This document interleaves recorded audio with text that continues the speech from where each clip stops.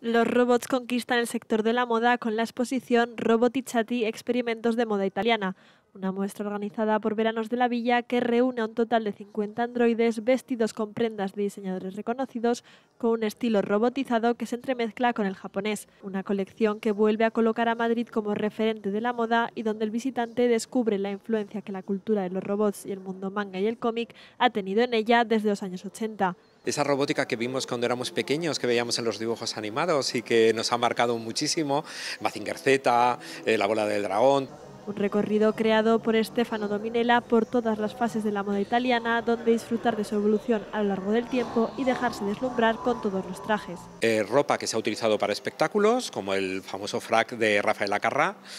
trajes que se han utilizado para, para el cine, como el de Odisea del Espacio,